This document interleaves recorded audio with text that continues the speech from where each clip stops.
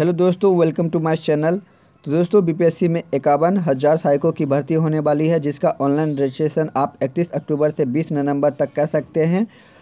और दोस्तों, यदि आवेदनों की संख्या चालीस हज़ार से कम हो जाती है तो प्रारंभिक परीक्षा नहीं ली जाएगी। अगर चालीस हज़ार से अधिक हो जाती है तो इसमें प्रारंभिक परीक्षा में सामान्य अध्ययन से पचास, सामान्य विज्ञान एवं गणित से पचास, एवं मानसिक क्षमता जाँच से पचास, बहुविकल्पीय प्रश्न पूछे जाएँगे।